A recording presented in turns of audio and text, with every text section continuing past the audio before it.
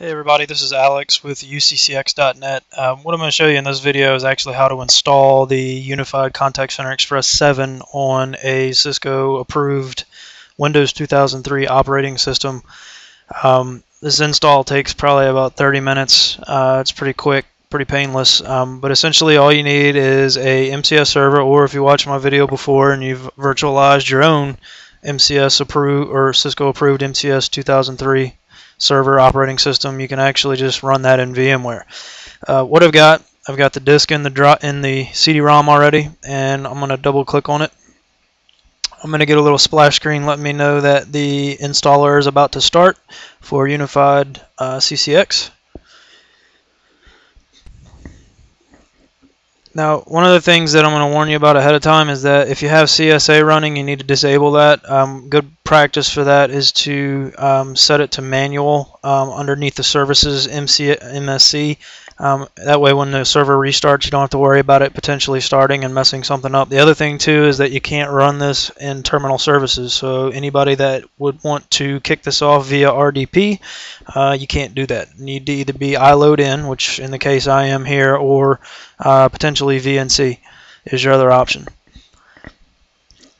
Splash screen will go through the check just to make sure that you have enough space on the disk and that you're not running it in a non-approved operating system.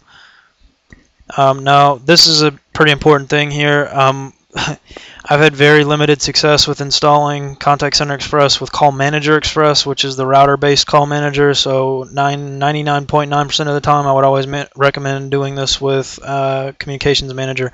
If you do choose to do Call Manager Express, it changes the GUI, the web page for Unified Contact Center Express. Some of the options will not be there that you would normally see with the full-blown Call Manager integration. Uh, now this is a very important setting here, um, one that I wish they would change. Um, essentially this picks the language for CAD, which is the Cisco Agent Desktop, and CSD, which is the Cisco Supervisor Desktop. Uh, one thing to note here, this is set it and forget it. Whatever language you pick here, you cannot go back and change again later unless you respin the disk and basically format C colon and start over. Uh, this is one of my biggest gripes here. I wish it would support multi-language environment for multi-language uh, agents and supervisors, but that's what we have. Um, essentially, it's going to ask you if you want to review any of this uh, information, and we're going to click Install.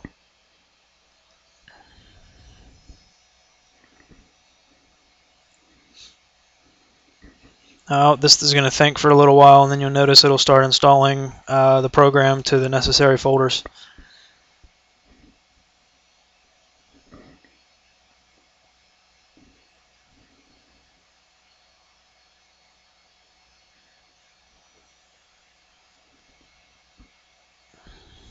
Now, one of the things that this will do, um, and I do want to point out, is if you're not running this uh, in an HA environment or a high availability environment, it's actually going to install Microsoft MSDE, which is the embedded database for Microsoft.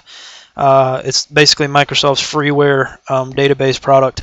So that's what this is doing right here is it's actually installing the desktop engine. There are some limitations with the desktop engine as far as uh, how much space can be in the database before the database just can't run anymore. I think off the top of my head it's like 4 gigs and maybe 6 gigs now. Um, check the SRND. I'm pretty sure it'll be in there. Um, you will run into some issues with prompt uploads, uh, things like that if you have too much data in your database, so be cognizant of that um, as your call center grows. Next thing you'll see here is it's actually going to install the Java 2 uh, runtime environment, the SE runtime environment. Um, be very careful with any type of Java update messages you might get on your server because if you do change the Java runtime engine or the Java 2 standard edition runtime environments on the contact center server, you can potentially screw it up. Uh, so just be cognizant of that as the patching goes on and as time moves on.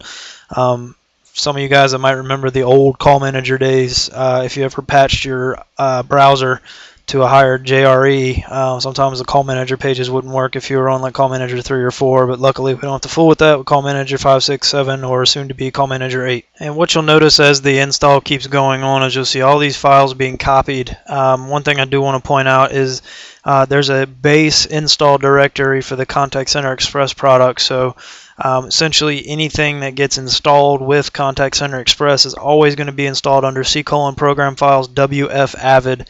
Um, I've never had anybody explain to me what the WF means, but back in the old days, before everything was unified, it was AVVID was architecture for video, voice, and integrated data. So anybody that's been around since Call Manager three days has seen that acronym before. Um, essentially, what the disk is going to do, or essentially what the installer is doing right now, is just copying all the files, the prompts, uh, the basic system scripts, the logging capability, all the Java files. And if you didn't know, Contact Center Express is written in Java, which is the underlying language. So any of you Java weenies out there, you might be able to reverse engineer a piece of it. Um, I've played around with it a little bit, so uh, that's essentially what it's doing now. Uh, it's going to take several minutes for this to go ahead and install, so I'm going to go ahead and end the video here. There's not much else to it. What you're going to need to do once you get the install done is go ahead and, uh, it's best practice, to, I would recommend rebooting the server.